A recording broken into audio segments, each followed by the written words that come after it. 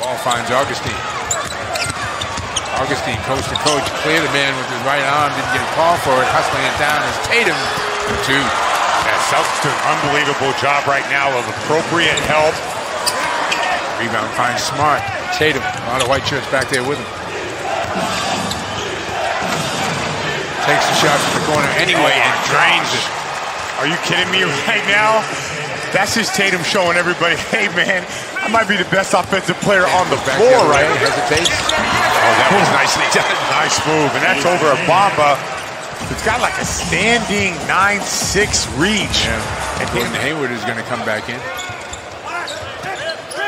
You're right, guys are going in and out in three, four minute bursts here. Yeah. Taken off by Aminu.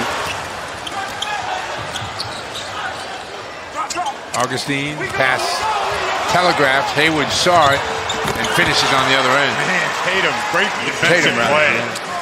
I mean, she's staring right at Augustin. Augustin makes a- kind of a nonchalant pass cross court. Tatum got that long arm out there, got himself an easy dunk. Tatum, open three, knocks it down.